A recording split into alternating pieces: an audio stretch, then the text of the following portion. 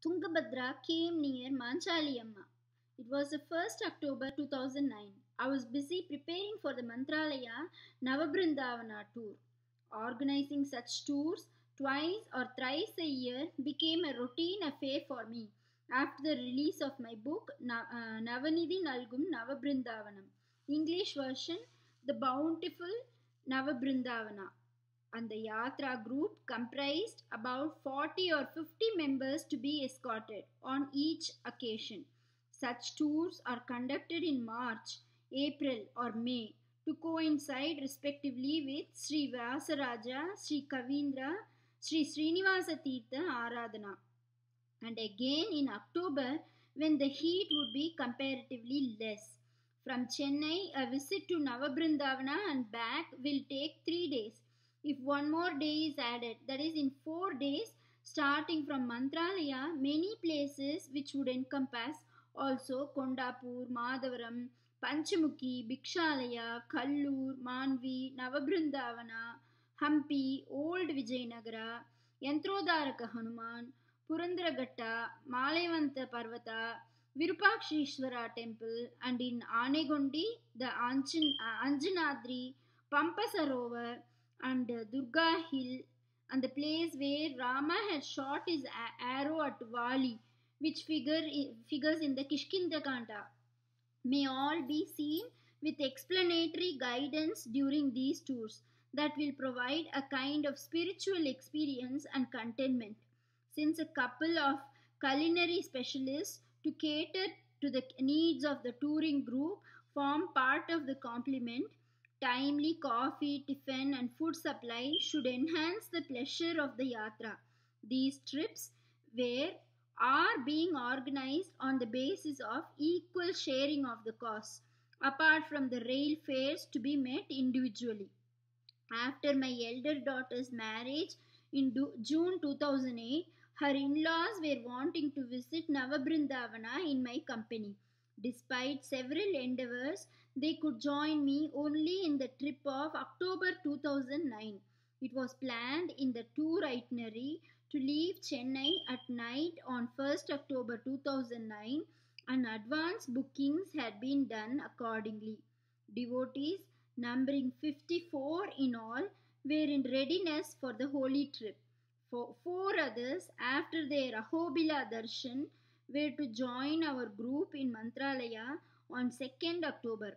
Besides the excitement of the yatra, I was thrilled by the expectation to meet at, the, at Mantralaya Miss Shanti of Kovilpatti and her uncle Sri G. Subramanian, president of the Raghavendra Pushpanjali committee, particularly Shanti, who used to always address me on the phone as Anna and talk to me at length about Sri Guru Raja and his mysterious deeds, as also about my publications.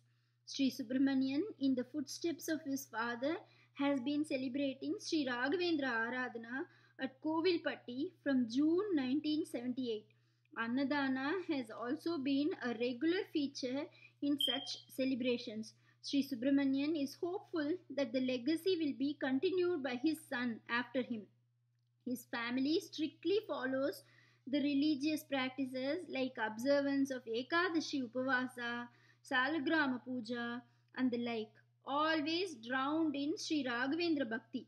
Sri Raghavendra has appeared in Sri Subramanian's dream on several occasions and even proffered advices to be passed on to others.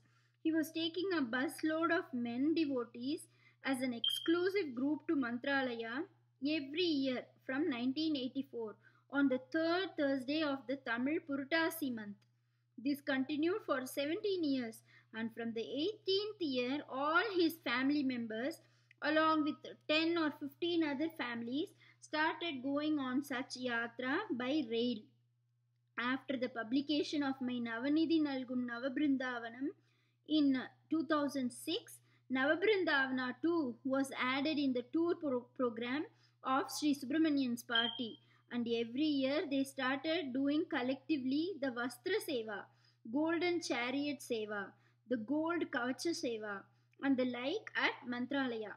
Thus, for celebrating the silver jubilee of their tour organization, One day, Shanti asked me, Anna, this year we want to perform at Mantralaya all the sevas from morning till the closing time at night. Can you therefore find out how much it would cost? I got the information from Mantralaya and conveyed to her and instantly asked her when their proposed trip was to materialize. She replied, As usual during the season, this time we are starting on September 29.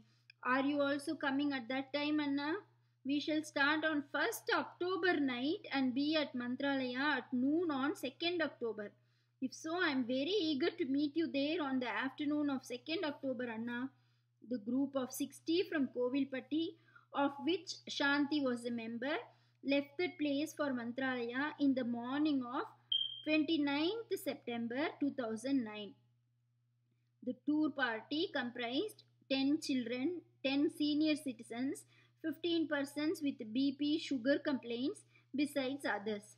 And when the group reached Mantralayam Road Station at 6 am on 30th September 2009, Wednesday, it was raining there heavily, but somehow they managed to get into the vans and reach the Arya Vyasa Choultry in Mantralaya, where they had booked 15 rooms in advance in the second floor. It was the Ekadashi day, and even as the skies were unrelenting in their downpour, the devotees had their holy bath in the Tunga, Tungabhadra, and following that, the darshan of Sri Guru Raja. Of course, those who had vowed to perform Anga Pradakshina and the like completed such rituals with great devotion, unmindful of the wet condition. They witnessed the Moolarama Puja performed by the Pitadipati Sri Tirtha and left by vans at 2.30 pm to have darshan at uh, Madhavaram, Panchamukhi and Bhikshalaya, returning to Mantralaya at 6 pm. At night, Sri Subramanian prompted all members to have an early bath and be ready by 4 am at the mutt on the morrow, Thursday and Dwadashi day, for participation in the sevas to commence at that hour, urging everyone to go to sleep early. It was pouring cats and dogs at night, but early in the morning everyone got ready and was present at the mutt promptly and with great devotion at heart to participate in the pujas to begin. The torrent was unceasing even at that hour. At 4:30 a.m. on 1st October 2009, Thursday, there was Pallaki Seva in which the devotees participated, shouldering the palanquin themselves. They then witnessed the other pujas with great bhakti and contentment at heart, and after Tirtha Prasad, returned to their lodgings. It was the program of the group to travel to Navabrindavana the next day, and after darshan they returned to Mantralaya late in the evening when they would meet me at Mantralaya. The leader of the group contacted Anegondi at 11 am to confirm their Navabrindavana journey and follow up the arrangements made there for darshan. But the voice at the other end presented a small, dismal picture, advising, Please don't come, it's raining here in torrents. Even if you come here tomorrow, the coracles, boats cannot negotiate the river because of heavy inundation and the swirling of the waters. Besides, there is danger of being caught in the onrush of the river. Therefore, you should avoid journeying to Navabrindavana in such grim situation. Sri Subramanian and his group then reconciled themselves that it was perhaps Rayar's desire that they should remain in Mantralaya for one more day. In the evening of 1st October 2009, they witnessed the silver golden chariot procession, procession and after participation in the evening pujas took prasada at 8 pm and came out of the mutt. And lo, what awaited them there was the scene of the rising Tungabhadra river touching the steps of the Manchali Amma temple. Sri Subramanian, without knowing what was in store for the devotees in the next few hours, drew the attention of others and observed, I had seen such violent onrush of the river in 1992 and after that only now I am witnessing such spectacle. It's presenting an alluring sight, keeping our eyes transfixed at it. The others in the group were also engrossed then in eyeing the rare phenomenon. Soon there was an announcement over the loudspeaker warning the public not to sleep at the temple entrance and urging that none should go to the riverside. The devotees from Kovilpatti then wended their way to their apartments and after having darshan of the Gopura on the Brindavana of Sri Raghavendra from the second floor of their lodging house went to bed peacefully with the contentment that they were indeed the blessed ones to have performed all the sevas to Sri Guru Raja on a Guruvara, Thursday, graced by him that way. Let us now turn our attention to what happened to the group that was leaving Chennai for Mantralaya at almost the same time.